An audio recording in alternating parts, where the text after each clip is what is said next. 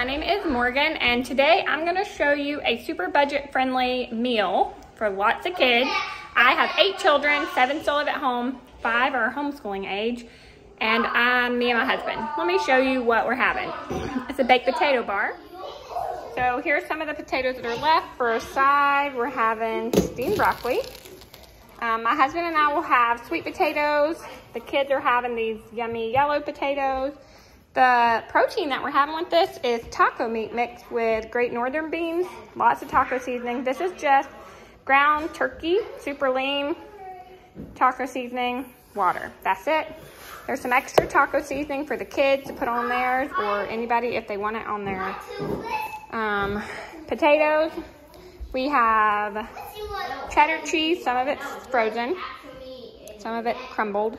Um, this used to be sliced. It got all messed up, so we just put it in there. This is Parmesan cheese. It's going to be delicious. Butter, tomatoes for a side, more butter. This is what the kids' plates look like so far. And the baby. Julie, how was it? Was it good? And my big helper here is also helping me. So this is a super easy, super fast meal that we love. I just don't put a lot of thought into this meal. It's so easy and thoughtless if you can remember to put the potatoes in the oven. That is the key. Um, and on Taco Tuesdays, when I make taco meat, I always make extra if I can, and I throw some in the freezer.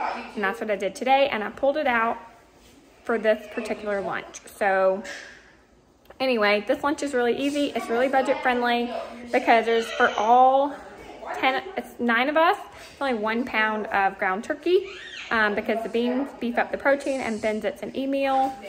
It works out perfectly. Um, it's a, yeah, that's pretty much it. So I hope this video was helpful. I hope it gives you a great idea. That is light laughing cow cheese on ours. One person's already stole theirs. What? I, I Phoenix is putting his in a wrap.